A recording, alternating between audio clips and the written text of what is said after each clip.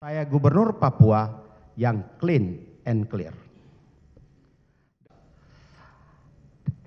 Penyidik membuat laporan tindak pidana bahwa saya telah melakukan tindak pidana 1 September dan ditetapkan sebagai tersangka tanpa ada bukti permulaan, tanpa ada pemeriksaan saksi-saksi yang menerangkan bahwa saya telah menerima gratifikasi atau hadiah sebagaimana telah terbukti dalam persidangan.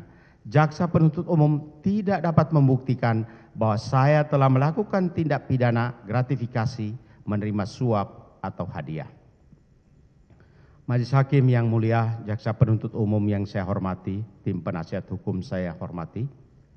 Saya telah dituduh dan didakwa menerima gratifikasi sebesar 1 miliar rupiah dari Rija Tonolaka dan memiliki hotel angkasa pemberian dari Rija Tonolaka senilai 25 miliar 958 juta 352 ribu 672 dan uang dari seorang pengusaha yaitu Pitun NMB senilai 10 miliar 413 juta 929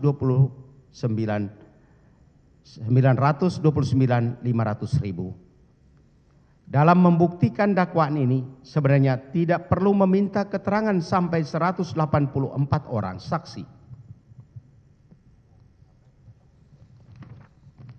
Dan empat orang ahli seperti ahli akuntansi forensik Miftak Aulani Rahman, Dr. Agus Purwandian, Agus Purwandianto, Dr. Joko Wibisono, yang dalam berkas perkara demikian tebal, tetapi pada akhirnya yang diajukan dalam persidangan hanya 17 orang saksi, yang semuanya telah menerangkan tidak mengenal saya, tidak mengetahui tindak pidana gratifikasi yang saya lakukan, karena memang saya tidak melakukan seperti yang dituduhkan, yang digembar-gemborkan selama ini. Saya gubernur Papua yang clean and clear.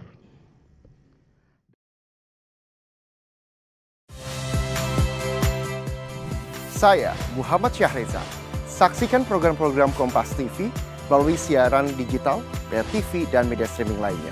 Kompas TV, independen, terpercaya.